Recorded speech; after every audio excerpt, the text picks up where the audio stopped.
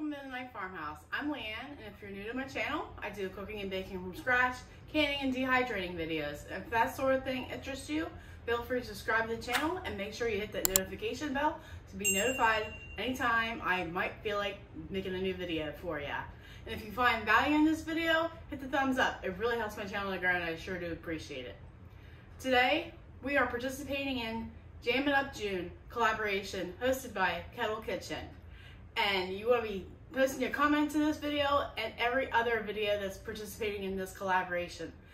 There are some fabulous prizes that will be given away on Kettle Kitchen's giveaway at the end of the month. Talking about canning lids and stock pots and steam canners. You don't want to miss out on this great collaboration. So let's get jamming. Today we are making strawberry lemonade marmalade. Say that 10 times fast. And since I'm busy baking for a bake sale tomorrow, do I have time to make jam, but my fruit is getting ripe? No fear. We have the bread machine coming to save the day. You say what? It's very important that you only make jam and jelly in the bread machine that has a specific and unique jam or jelly setting. The operation of the paddle and the temperature settings are unique for jams and jellies, and it's difficult to improvise with any other setting. Bread machines with the jam and jelly feature have bread pans that have a unique bearing under the kneading paddle. This prevents liquid from leaking through the paddle bearing and onto the machine. You can ruin your machine or at least face it impose cleaning up task if a pan of fruit and sugar leak into the bottom of your bread pan. You could short out if any liquids encounter any electrical connections. So make sure your bread pan can hold water. I would just simply place water into your pan and let it sit on the counter for about 20 minutes to make sure it doesn't leak. If you're not familiar with how a bread machine actually works, it has a knead cycle which will act as a mixing cycle for your jam. Then it also has a bake setting, which will actually cook your jam or your fruit to the proper temperature it needs without any guesswork. Before you get started, make sure you wash your fruit, especially the peel of the lemon. They put a wax on it before they get it to the grocery store just so they last longer. And with strawberries, you want to take a gentle flow of water, cold water, and make sure you're gentle with them because they will bruise. The ripeness of any fruit is very important. You don't want fruits that are not ripe or too ripe. They need to be just right. This is fairly simple with strawberries and other berries. But the challenge can be with mangoes, kiwis, and peaches. If the fruit you have on hand doesn't feel ripe, consider making a different flavor or just wait a few days. You should also only use fruit juice that is 100% juice. Too many fruit juices have added water and sugar. This can compromise your results, so stick with 100% juice. Pectin or gelatin is also important when juice is the main ingredient. The quality of your fruit needs to be pristine. You can't have any bad spots or mold for obvious reasons. It will degrade the quality of your product. For the recipe today, I'm using the Ball website's recipe for strawberry lemon marmalade. And the directions say you need a chopped or crushed four cups of fruit. So I'm going to use my vegetable dicer to make sure the fruit is the size that it needs to be.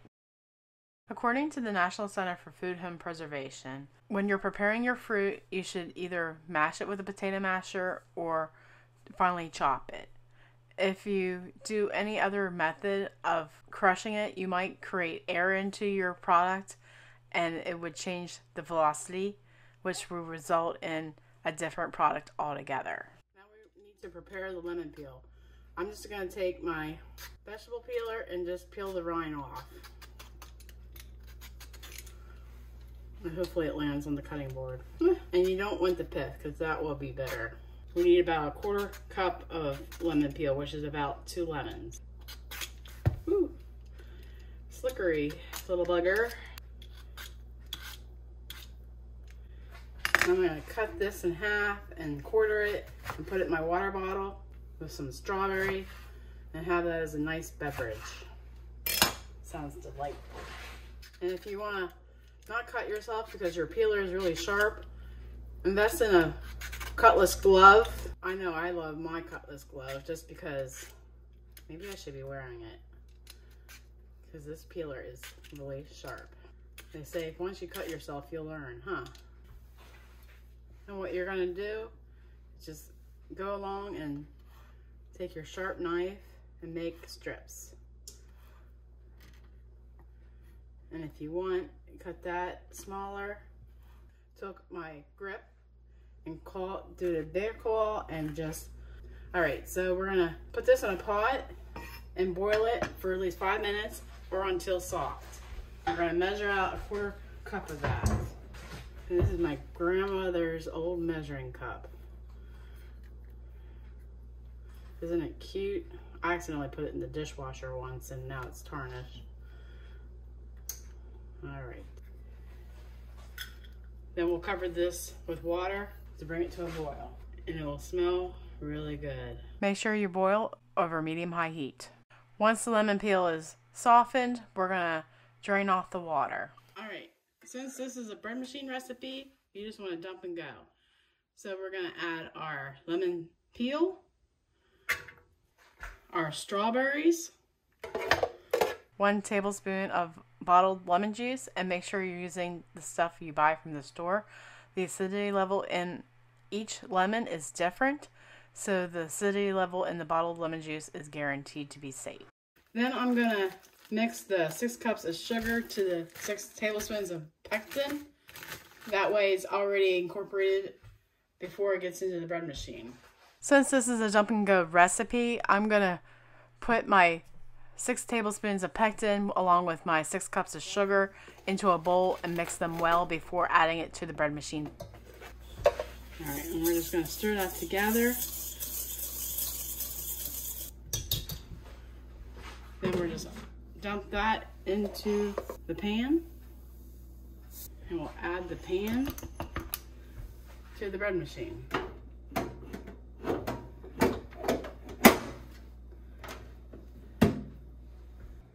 All right. And since I still have baking to do, I'm just gonna put it on the island. And we're gonna select number 14. And hit start. And in 10 minutes, it'll beep for me to scrape down. Then at 15 minutes in, it'll scrape, beep to scrape down.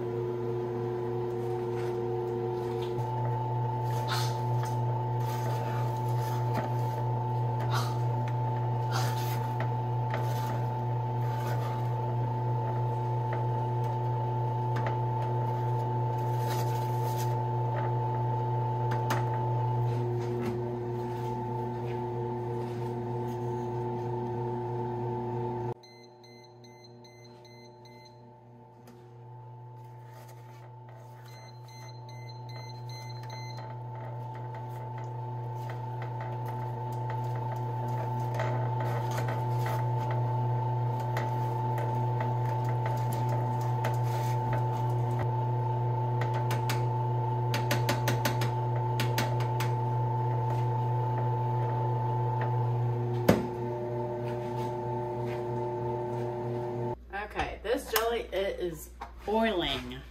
So I, I highly stress if you're canning it, get out of the bread machine right away and get to ladling into jars. But if you're going to just refrigerate the jam, let it cool down for 30 minutes before you remove it from the bread machine, just for safety precautions. We're ready to rock and roll. We got our jars in a canner, getting hot. We got our hot sippy lids cleaned and rinsed. We washed and sanitized this. We washed that. We got our paper towels, our rings. We're all ready to rock and roll. All right. You want to grab a jar, a funnel, and ladle your marmalade into the jar slowly because this stuff is hot. Make sure you get that quarter inch head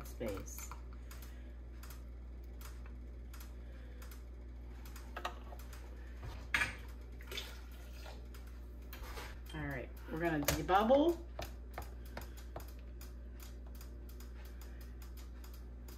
This jam is so pretty looking. And measure our quarter inch headspace.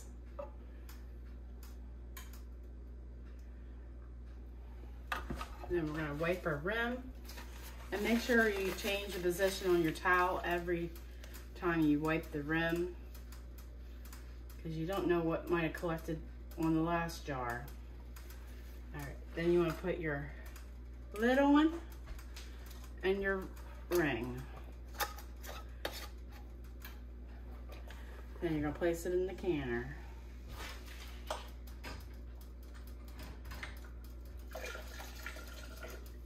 Can't stress that enough. It is screaming hot. You do not want three degree burns. Trust me.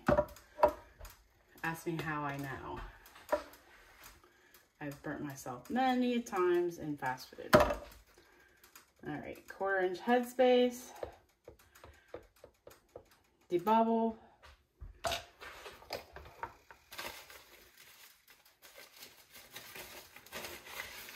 Wipe your rim. You got your canning lid and your ring, fingertip tight, and into the canner we go. All right, I got almost eight jars. You're supposed to get seven. So I'm gonna let this sit on the counter till it sets. Then I'll put it in the refrigerator. I found out last week it will not set if you just put it straight into the refrigerator. So this is automatically gonna go in your wash sink and wash right away. You do not want to wait on that. It'll grow tight. And what's the worst part about canning? The dishes. So we'll lower our jars into the water. And I take this handy dandy measuring ruler and actually see if I have the right amount of water. You should have one and a half inches to two inches of water. So we're good on that. And I'll put the lid on, I have it on medium high heat, and we'll wait till it comes to a rolling boil. Another thing to keep in mind when you're canning is what elevation you are located at. I'm at 859 feet, so I can process for 10 minutes. When your 10 minutes is up, you want to remove the lid, turn the burner off, and set another timer for 5 minutes. That will allow the jars to cool down slowly versus rapidly.